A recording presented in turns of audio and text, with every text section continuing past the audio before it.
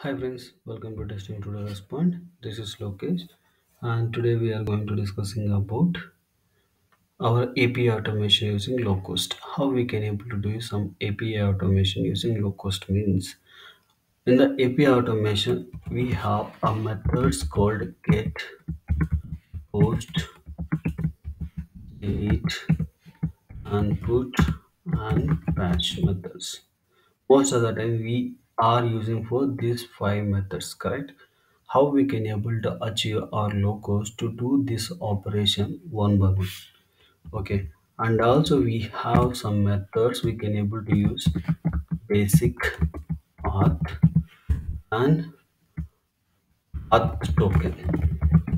The two methods we have presented how we can able to provide these two things into our application okay this we are going to discussing and this particular uh, series. First our target is get method how we can able to achieve using our Locust method. See for that we need to create one class.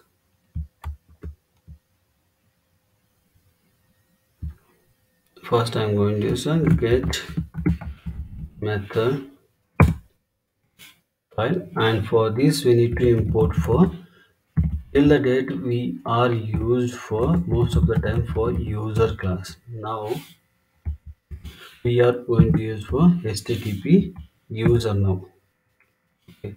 and using for task is common and between is common.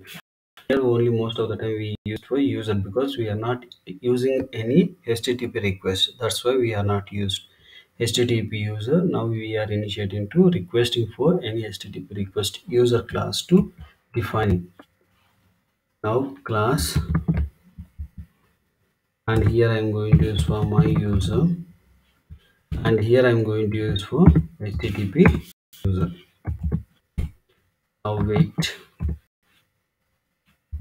Between 1 comma or 2 and here we can able to use host.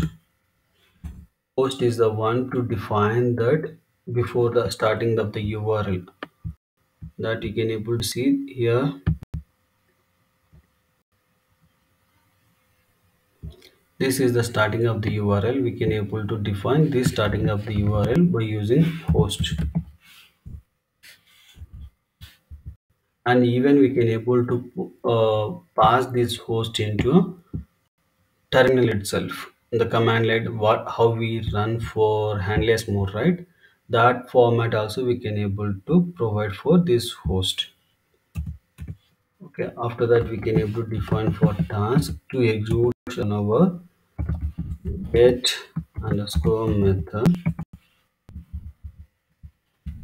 Self now here we are using for self dot client dot get method. And get method it will take as a self url parameter data headers and cookies and auth tokens and all it will take it. Okay? Now here i'm going to use for without auth token i'm going to passing for my another value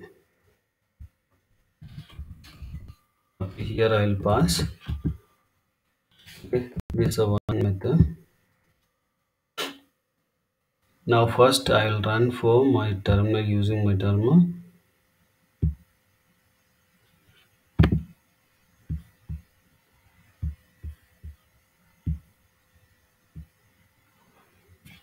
in this terminal i'm going to use for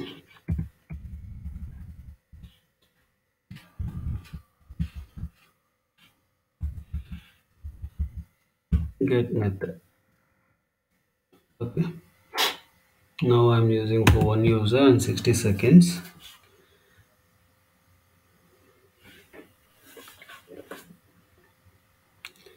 Now once it is run we'll uh, go and see into our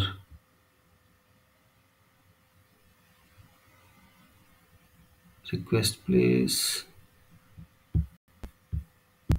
You can able to use Locust 889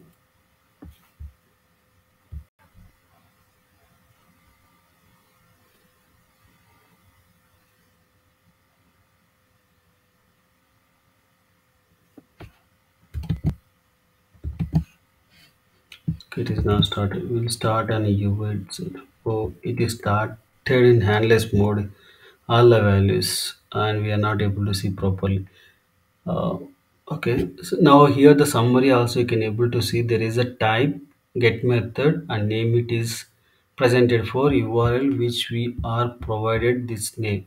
Correct to see that it's like a ugly and means not the properly formatted right we can able to use common name we can able to provide any kind of name get method okay now you can able to open the terminal. Now start. And it will execute for headless mode. We'll see in this detailed report place the name need to be changed to get method. It will execute keep on it will execute and will stop here. Now we can able to see there there is a name it is get method. How much ratio. These are the things we can able to find it. The name we can able to change here what kind of method we means what kind of uh, operation we are doing we can able to provide those names also here. The name it will change. To giving this complete url to there we can able to provide the short name which is required for particular the method operation. But still we have a question whether we are doing validating the proper way or not because we are not verifying any uh, response validation. Correct. We are just we are hitting for this to verifying that properly or like hitting to that particular get method to that particular URL. We are not validating any response. How we can able to validate for response? This we will learn about next video session. Okay. Thank you for watching. Please subscribe my YouTube channel. Don't forget to share your friends and colleagues. Thank you.